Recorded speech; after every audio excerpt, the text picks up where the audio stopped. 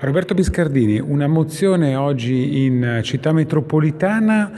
per contestare che cosa? Il 25 novembre scorso il governo ha eh, emesso un decreto legge, quindi attualmente è già operativo, che per eh, in parte sanare, in parte contribuire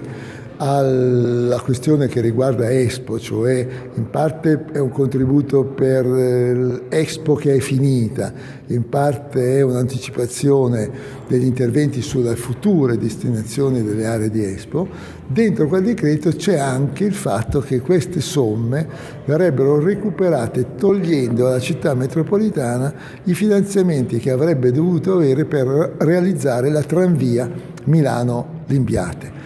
Ecco, qui si pongono due problemi, uno assolutamente di merito, nel senso che lo sviluppo del trasporto pubblico, addirittura lo sviluppo del trasporto in questo caso su ferro, perché stiamo parlando di un tram, il ripristino della vecchia tranvia,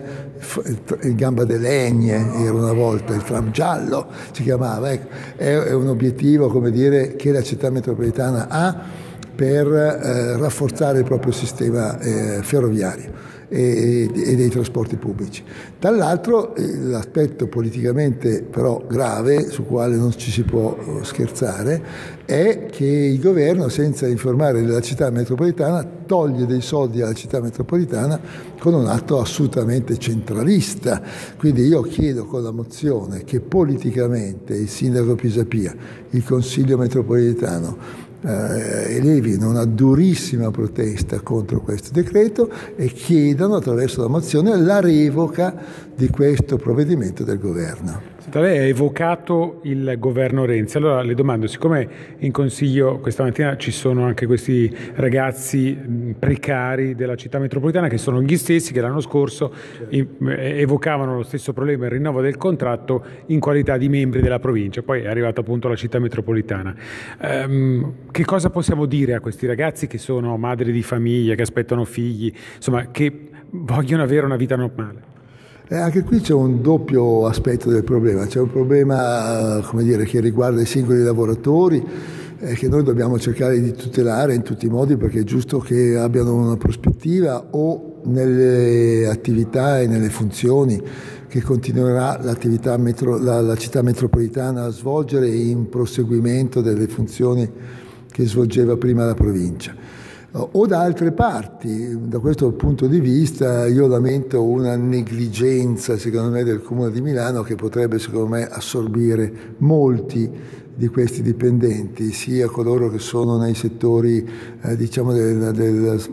dei servizi sociali, la famosa questione del CAM, del centro di assistenza dei minori, oppure alcuni eh, dipendenti della vigilanza e della polizia eh, provinciale, che adesso non c'è più, che è una funzione che va a terminare, che potrebbero assolutamente, sono numeri che potrebbe il Comune di Milano assorbire questa è la mia proposta. Adesso vedremo eh, con i sindacati con i lavoratori le, le, questioni di merito. Dall'altra invece c'è un problema politico più grave. Noi, io considero la legge del Rio che ha istituito la città metropolitana una bruttissima legge, eh, non prevede neanche l'elezione diretta del sindaco del Consiglio metropolitano, quindi è una legge che fa nascere un'istituzione politicamente debole. Poi le finanziarie, o adesso si chiamano leggi di stabilità, sia dello scorso anno sia di quest'anno, non danno risorse e quindi noi ci troviamo con una città metropolitana che nelle ambizioni dovrebbe svolgere una funzione ancora più grande della provincia con minori risorse, minori dipendenti della provincia di prima. Quindi è evidente che c'è un conflitto politico fra la città metropolitana e il governo.